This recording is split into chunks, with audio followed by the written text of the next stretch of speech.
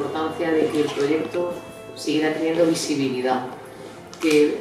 fuese conocido por todos los cartageneros y todas las cartageneras, más allá de las voluntarias que habéis estado siempre y de la colaboración que siempre habéis tenido, porque vuestra labor es esencial. Y si no se conoce, que si no se le da difusión, si no se le da visibilidad, difícilmente podéis tener los recursos que necesitáis para prestar ese servicio. Es un proyecto y, una obra social que se lleva realizando durante tantos años en Cartagena que muchos de los cartageneros la tenéis tan presente que, que parece mentira que se desconozca por otra parte de la población. Y esta iniciativa de la exposición pues también es una idea fantástica aquí en nuestro casino, en pleno centro de Cartagena, para dar a conocer esa labor. Hay un proceso ahora de participación y se está decidiendo cuál es el mejor uso que se le debe dar al edificio cultural de la Casa del Niño que convive con la parte educativa,